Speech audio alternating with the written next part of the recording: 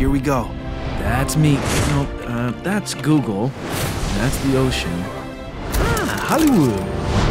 What's up, law school? And ah, there. That's me. And I got the best view in the city.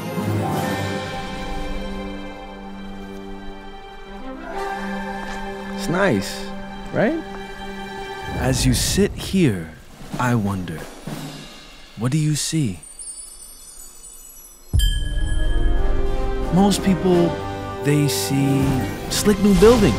Look at that one, and this one. This one's got a solar panel. Renewable energy. And inside, a new age of enlightenment beginning, illuminating science and reason, how to think, not what to think.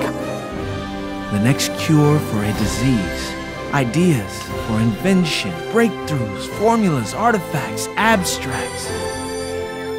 The storytellers of the future, making Hollywood blockbusters.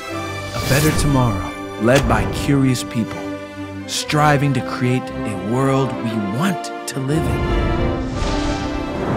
A new age of exploration, ideas spreading like the wind.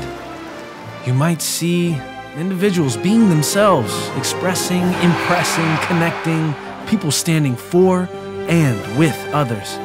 Here is a place that you can dream out loud. And yeah, we got history, lots of history.